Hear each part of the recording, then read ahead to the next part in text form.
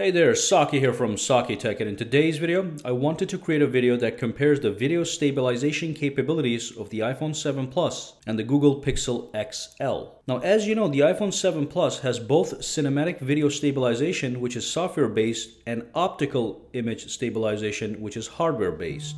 On the flip side, the Pixel XL uses software based electronic image stabilization or gyroscopic image stabilization. So in this video, we will see which one does a better job at stabilizing video. Now all video footage you'll be seeing will be recorded in 1080p at 60 frames per second, obviously with stabilization turned on.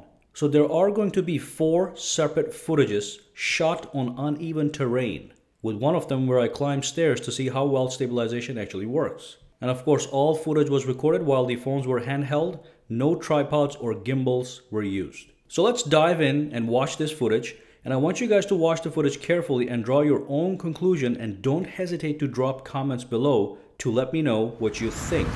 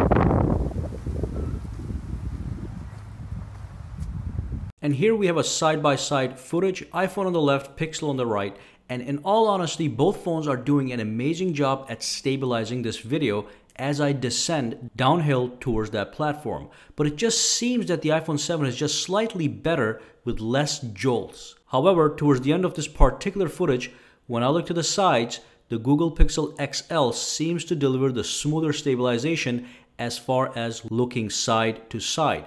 Anyway, I want you to take a look at these footages and let me know down below in the comment section which one you perceive to be better based on your take of all four footages. And of course, thank you for watching this video. Make sure to subscribe to Saki Tech, give this video a thumbs up, and you have a fantastic day.